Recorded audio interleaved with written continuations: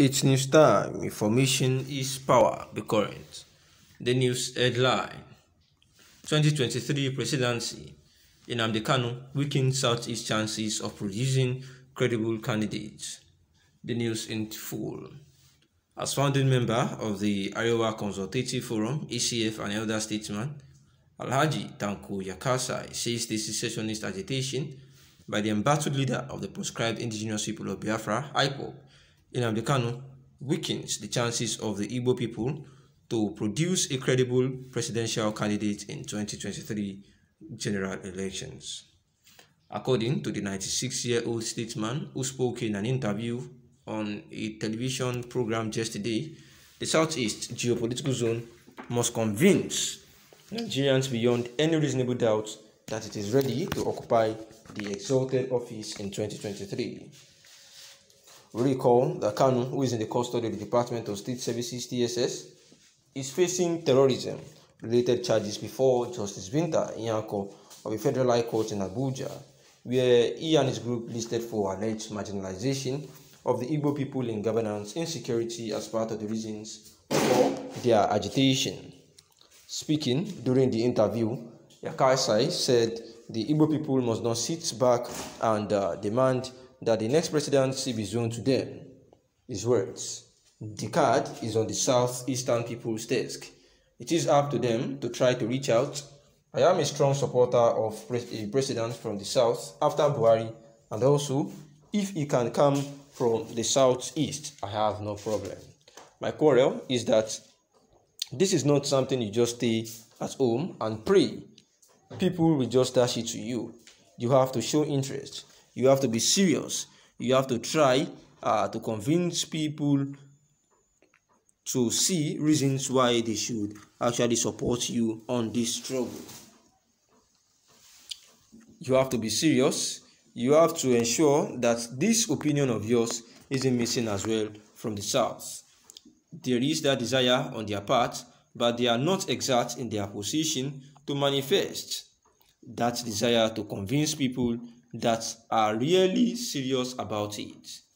There is this anxiety in Nigeria about the position of the Southeast because it is surprising that uh, it is surprising that to many people, including people like me, this Nnamdi Kanu, who ordinarily to me would not be a good candidate for the governorship of any southeastern state, is now claiming the attention, support of prominent people in the southeast is making people doubt if the Southeast is really ready to produce a credible candidate that would help Nigeria as a whole. That doubt is there, is stated. And this is Yakasai, uh, who says that he is actually in support uh, of the next presidency coming from the Southeast. Yakasai, who happens to be a founding member of the Arewa Consultative Forum, uh, says that secessionist agitation by the embattled leader of the proscribed indigenous people of Biafra says it weakens the chances of the Igbo people to produce a credible uh, presidential candidate in 2023. Says that the uh, indigenous people of uh, the indigenous people of Biafra uh, who had actually you know uh, been supported by the Southeast leaders uh, Southeast leaders who visited President Muhammadu Buhari to secure his release you know uh, shows that the uh, shows you know actually influences the doubt of many people uh, concerning their bid to produce the next president, saying that uh, it is actually you know uh, the people will be skeptical, seeing that someone who is not even credible enough to become the next presidential candidate uh, is the one that they are trying to secure his release, and uh, there is no uh, enough you know evidence to show that they want the next president. And this is not just a word of the mouth.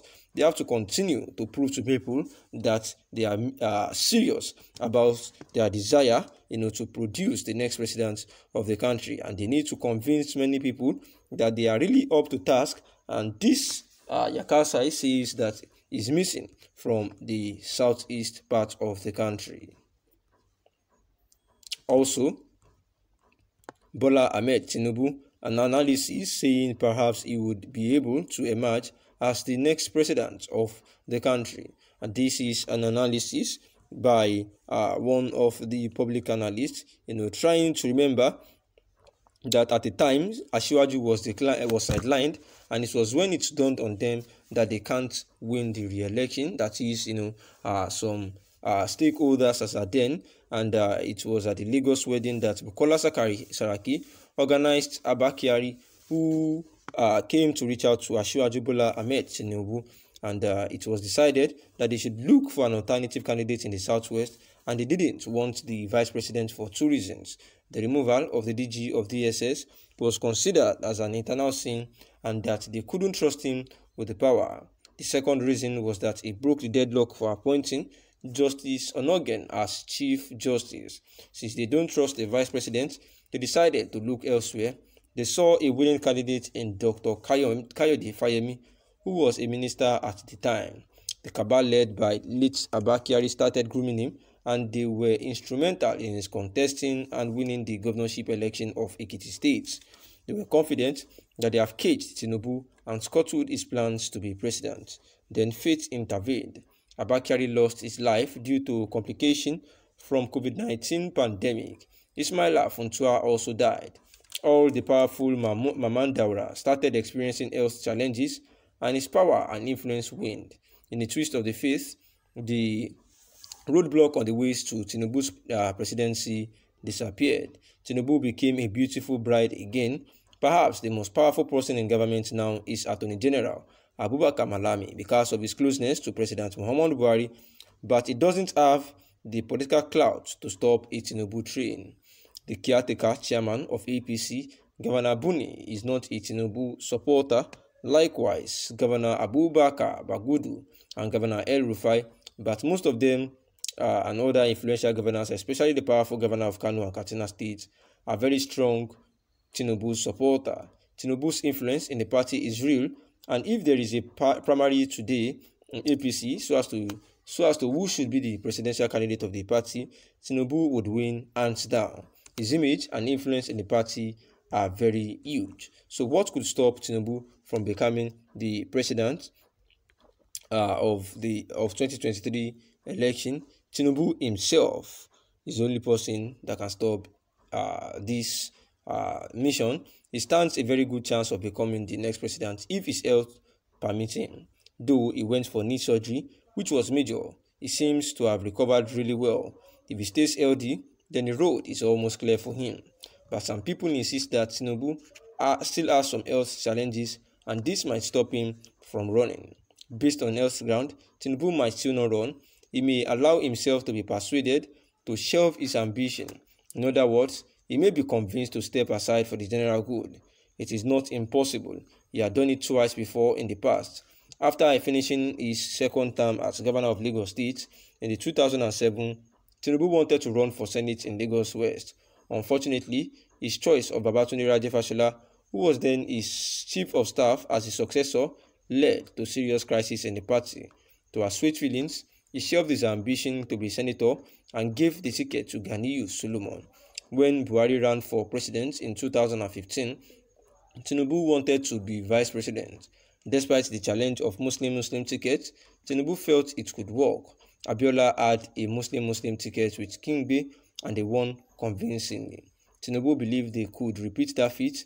His foot soldiers in the southwest disagreed. They felt a Muslim-Muslim ticket would be suicidal and they boldly told Ashiwaju at a meeting that was called. They advised him to pick a Christian instead. Ashiwaju picked three disciples, Wale Edun, Kudoso, and Professor Osinbajo. The consensus was for Professor Osinbajo because of the Redeemed Church, uh, Christian Church of God connection. Prof is a pastor at the Redeemed Christian Church of God, and that was how Ashiwaju Bola Ahmed Tinubu gave the slot and shelved his ambition for vice president and nominated Professor Yemi Osinbajo.